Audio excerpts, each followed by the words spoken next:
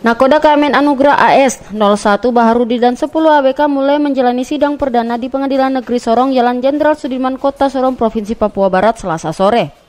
Dalam sidang perdana yang dipimpin Majelis Hakim Hanif Sar, didampingi Hakim anggota Ismail Wail dan Dedi Sahu Silawane beragendakan pembacaan dakwaan oleh Jaksa Penuntut Umum.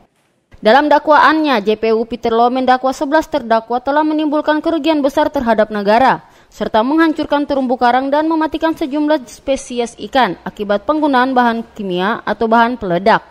Mereka didakwa telah melanggar pasal 84 ayat 1 junto pasal 8 ayat 1 Undang-Undang RI nomor 31 tahun 2004, junto Undang-Undang RI nomor 45 tahun 2009, perubahan Undang-Undang RI nomor 31 tahun 2004 tentang perikanan, junto pasal 55 ayat 1 ke 1 KUHP dan dakwaan kedua Pasal 84 ayat 2 Junto Pasal 8 ayat 2 Undang-Undang RI nomor 31 tahun 2004 Junto Undang-Undang RI nomor 45 tahun 2009 Perubahan Undang-Undang RI nomor 31 tahun 2004 tentang perikanan Junto Pasal 55 ayat 1 ke 1 KUHP dengan ancaman hukuman kurungan 6 tahun dan denda maksimal sebesar 1,2 miliar rupiah.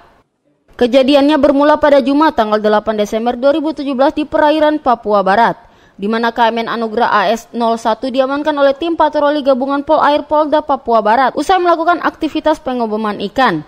Di mana dari hasil penyelidikan kapal asal Sinjai Sulawesi Selatan itu tidak memiliki surat izin penangkapan di wilayah Papua Barat. Selain itu, di atas kapal ditemukan ratusan bahan peledak bom ikan, dua karung bahan peledak berupa pupuk urea, kompresor dan ikan yang telah ditutupi garam sebanyak 600 kg. Atas perbuatan terdakwa negara dirugikan sekitar 7,5 miliar rupiah. Sidang ini akan dilanjutkan pekan depan dengan agenda mendengar keterangan saksi.